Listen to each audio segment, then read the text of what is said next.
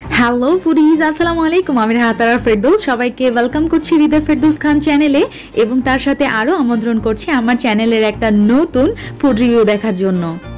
আমি আজকে আপনাদের সঙ্গে শেয়ার করব অষ্টব্যঞ্জনের খুব দুইটা ফেমাস প্ল্যাটার যেটা অষ্টব্যঞ্জন হোটেলে খুবই চলে, সবার মুখে মুখে এটার নাম, সবাই এটার প্রশংসা করেছে। সো আমি এবং আপনাদের ভাইয়া চিন্তা করলাম, যাই, যে টেস্ট করি কেমন, এবং আপনাদের সঙ্গে ডিসকাস করি এটা অ্যাকচুয়ালি কেমন। ওয়েল আর দেরি করছি না let's start our food journey আচ্ছা আমরা চলে আসছি ধানমন্ডি পান্থপথে। আর অষ্টব্যঞ্জন হোটেলের লোকেশনটা বলি। অষ্টব্যঞ্জন হচ্ছে ধানমন্ডি পান্থপথে স্কয়ার হসপিটালের পূর্ব পাশে অবস্থিত। সো, অনেক ইজি একটা লোকেশন যে কেউ চলে আসতে পারবেন খুব ইজিলি আর চলুন আমরা ভিতরে যাই, দেখি ভিতরে কি কি আমাদের জন্য ওয়েট করছে।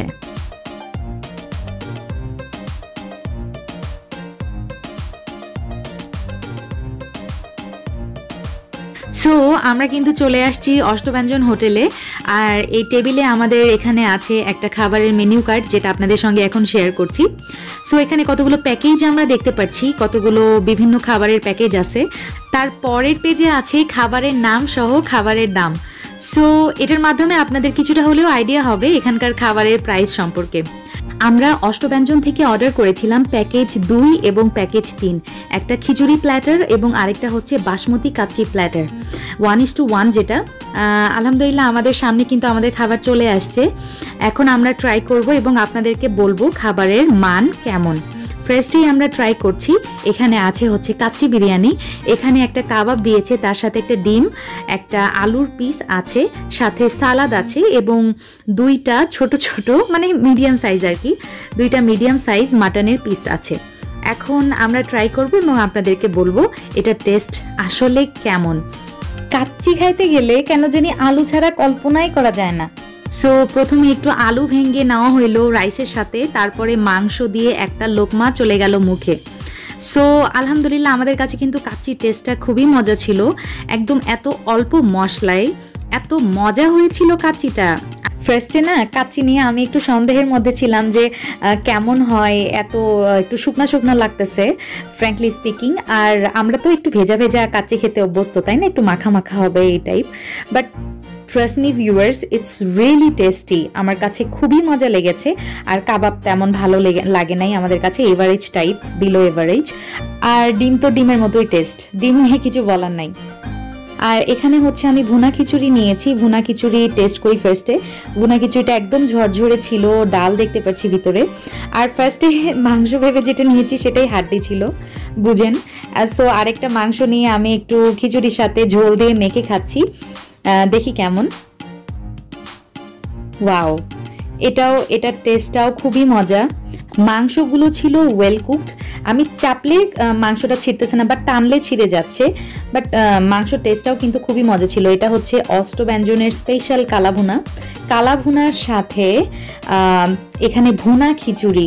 এটা, এটার কম্বিনেশনটা যে কি জোস আর কি মারাত্মক। আসলে বলে বোঝানো যাবে না।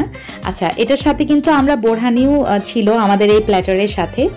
কাচ্চি, অর্থাৎ কাচ্চি প্যাকেজের সাথেও আমাদের ড্রিঙ্কস আছে, প্যাকেজের মধ্যে ইনক্লুডেড আর হচ্ছে এই খিচুড়ির প্যাকেজের সাথেও কিন্তু ড্রিঙ্কস ইনক্লুডেড আমরা বোরহানি নিয়েছি, তবে আপনারা চাইলে কিন্তু কোল্ড ড্রিঙ্কস নিয়ে নিতে পারেন।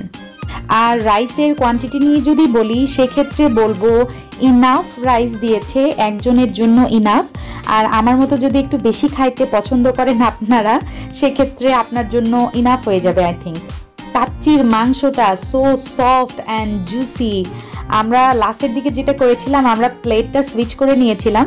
সো তাতে কি হয়েছে, আমরা দুইজনের খাবার দুইজনই ট্রাই করতে পেরেছি। আমার কাছে পরে আমরা দুইজনের খাবারটা সুইচ করার পরে আমাদের কাছে যেটা মনে হয়েছে সেটা হচ্ছে কম্পেয়ার যদি আমি করি, সেক্ষেত্রে কাচ্চি বেস্ট অষ্টব্যঞ্জনের খিচুড়ির প্ল্যাটার থেকে কাচ্চির প্ল্যাটারটা বেস্ট সো আপনারা এখানে আসলে কাচ্চির প্ল্যাটারটা ট্রাই করতে পারেন। খিচুড়িও ভালো বাট কাচ্চি আমাদের কাছে সবচেয়ে মজা লেগেছে।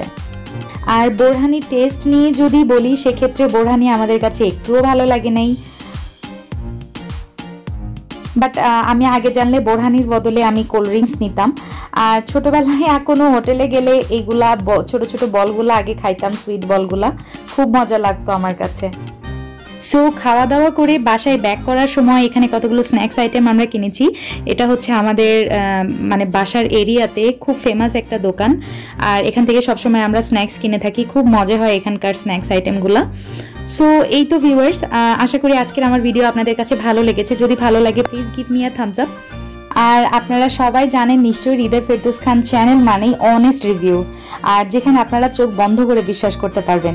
ইনশাল্লাহ আবার দেখা হবে নেক্সট এপিসোডে সেই পর্যন্ত আল্লাহ হাফিজ।